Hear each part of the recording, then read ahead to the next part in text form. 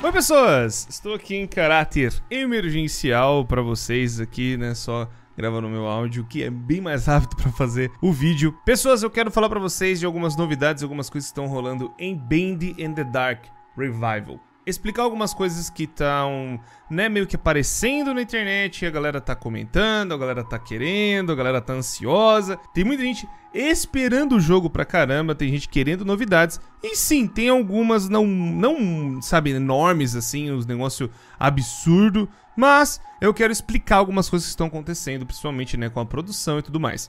Então, pessoas, muito obrigado por estarem assistindo, a galera aí que quer o Bendão de volta, né, que é o bicho brabo, né, aparecendo de novo. Já deixa o gostei, se inscreva no canal e ativa o sino pra vocês não perderem mais nada tá acontecendo aqui. São dois vídeos novos todos os dias, vocês não vão se arrepender.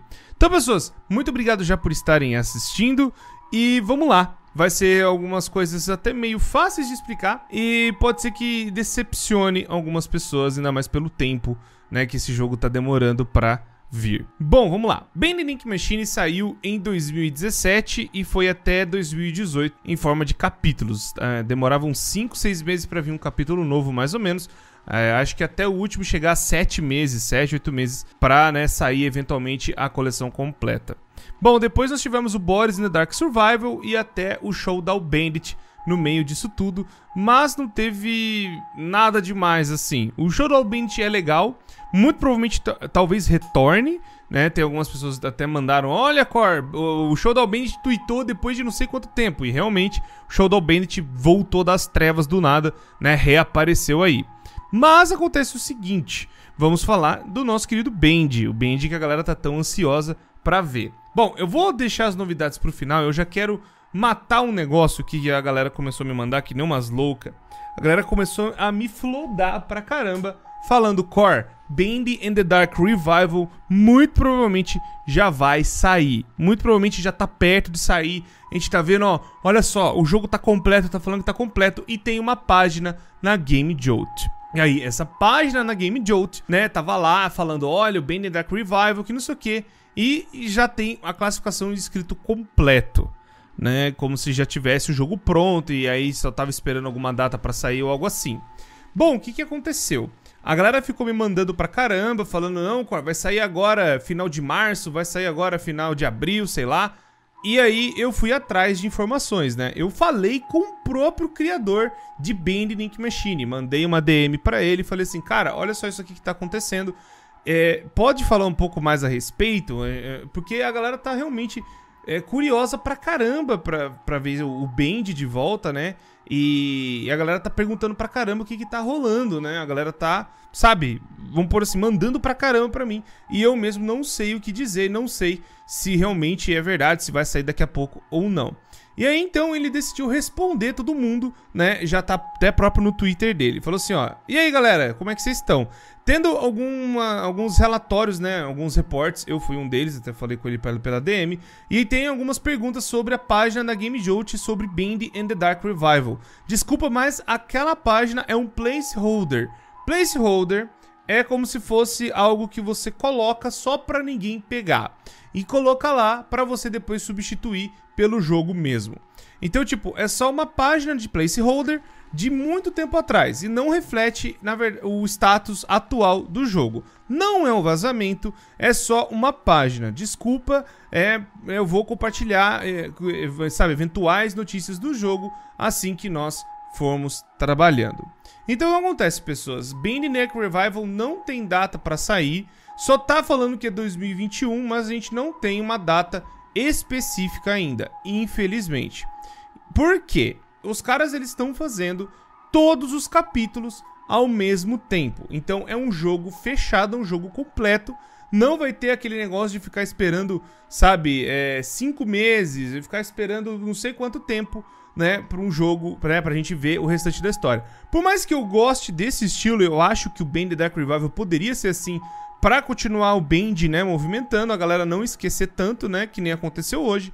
Mas eu torço para que o jogo seja realmente, sabe, grandioso do jeito que eles estão falando, né? E do jeito que eles estão programando. Bom, então de novo, galera, por mais que tenha essa página na Game Jolt, não é o jogo completo e também não está perto de sair. Não, não tem nada disso, fiquem tranquilos. E quando sair realmente alguma coisa, sair algo, sabe, tipo, não, ó, é realmente o jogo tá perto, eu venho aqui e muito provavelmente eles vão trazer um trailer ou vão trazer muito mais novidades, né, do que só uma coisinha aqui e ali. Bom, de novidades que nós temos, realmente que eu tenho que trazer para vocês até, é o livro The Illusion of Living, que vai contar o diário do Joey Drill. Ele vai contar um pouco mais de histórias do que aconteceu naquela época, né, pelo ponto de vista ainda do Joey e como ele fundou, né, a Vision e toda a empresa, né, a própria a própria lá do estúdio, né, a Joey Drill Studios, como que tudo nasceu, como que foi a ideia do Bend e mais outras coisas no seu próprio diário, né? A ilusão de viver. Então, esse livro saiu, esse é um livro de verdade que eu tenho que contar para vocês, que é parecido com Fazbear Frights.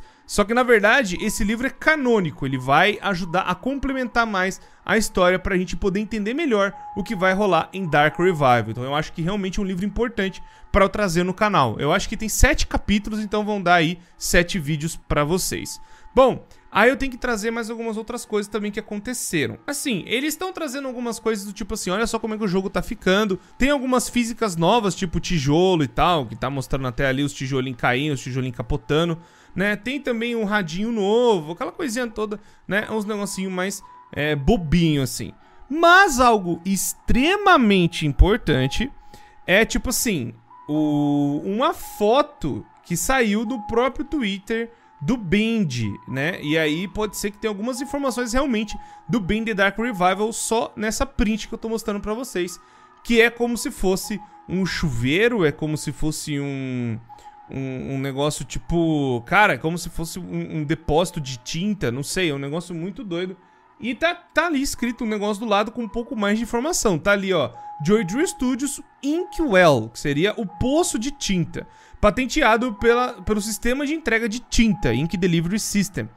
É, instruções de segurança.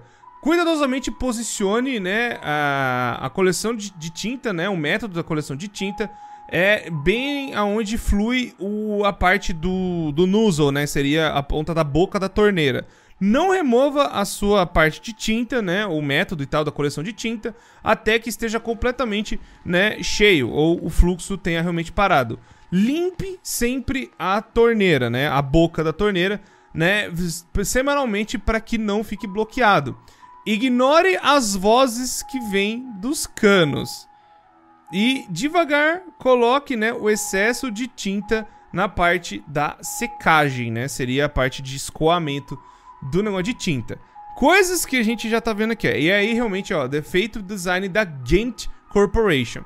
Um funcionário que nós sabemos que está vivo e que trabalhava nessa Gent é o Thomas Connor. E ele é um grande responsável né, pelas coisas dos canos. E quem trabalhou junto com ele foi o Wally Franks. Isso tá até no primeiro jogo, tem até o áudio deles lá no capítulo 3, que os dois trabalham juntos e o próprio Thomas fala bastante da Gent e tudo mais, que ele veio por causa disso. Então, tipo, pode ser que realmente isso seja uma parte que a gente vai ver no Dark Revival, contando como eles construíram as coisas e como essas coisas realmente ganhavam vida ao decorrer do estúdio. Só que o mais estranho é, tipo assim, é, é uma tal de Ink Collection Method, seria o método de coleção de tinta. Hum, é, como seria isso? Tipo assim, você coloca alguma coisa do tipo uma, uma, uma, uma, receita, coloca algo do tipo. É como se fosse um método, é como se fosse algo que você te, fabricou antes, para depois a tinta chegar e dar vida a essa coisa. Não sei dizer, parece isso. E aí, ó, ignore, a, ignore as vozes vindo dos canos, já tá dando a dica de que realmente a tinta tem vida. A tinta é que traz né, as almas dos funcionários ou as almas das pessoas que morreram dentro do estúdio. Então tudo está na tinta e a máquina de tinta é que estava fabricando né, essas criaturas dentro do estúdio do Joey Drill. Então Pra ter um segundo jogo é que realmente o negócio aconteceu. Esse negócio foi verdade. Tanto que nos livros vai confirmar que realmente o Joey Drill ele conseguiu, né, driblar algo da vida, driblar, né, esse negócio da morte por aí vai né? Driblar uma lei, assim, de onde, onde as pessoas conseguem ter vida por causa da tinta, por conta, né?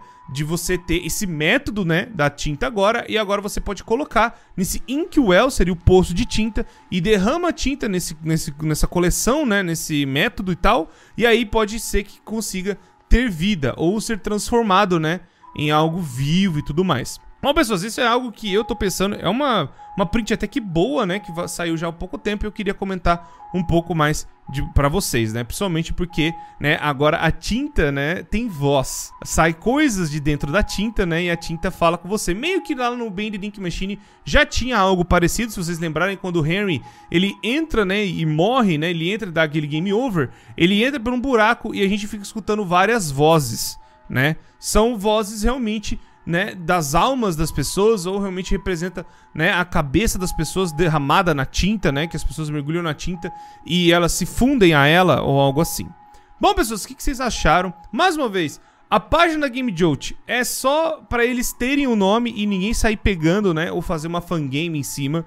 E eles realmente esclareceram que, olha, galera, fiquem em paz que quando sair a gente fala com vocês, vocês podem ficar tranquilos. Muito obrigado, pessoas, então, por terem assistido. Muito obrigado por estarem aí. Espero que tenha ficado claro. Quando tiver realmente novidades ou tiver algo realmente grande, eu trago e falo aqui pra vocês. Muito obrigado, pessoas, por tudo sempre. Muito obrigado por estarem aí. Já deixa o gostei, se inscreva no canal e ativa o sino. Pra vocês não perderem nada tá acontecendo aqui. São dois vídeos novos todos os dias. Vocês não vão se arrepender. Muito obrigado, pessoas, por tudo sempre. Me despeço de vocês e até a próxima.